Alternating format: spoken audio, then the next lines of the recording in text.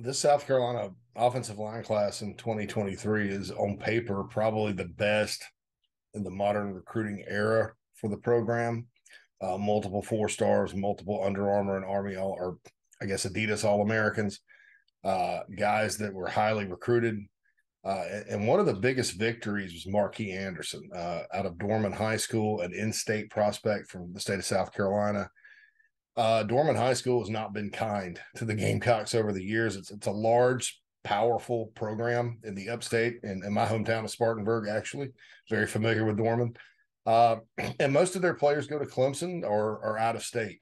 Uh, JJ Arcega-Whiteside uh, from Stanford, who got drafted a wide receiver, he was from Dorman uh, Sharon Peak, uh, multiple players. Uh, Jordan McFadden, who goes to Clemson right now, one of their starting offensive linemen. Uh, they've just kind of had a pipeline in there, but the Gamecocks snapped a long losing streak on the field against the Tigers this year and also snapped a losing streak at Dorman. They dated back about 15 years by landing Markee Anderson. Big, powerful, versatile guy. Uh, probably projects on the inside. Can't rule out right tackle in a pinch.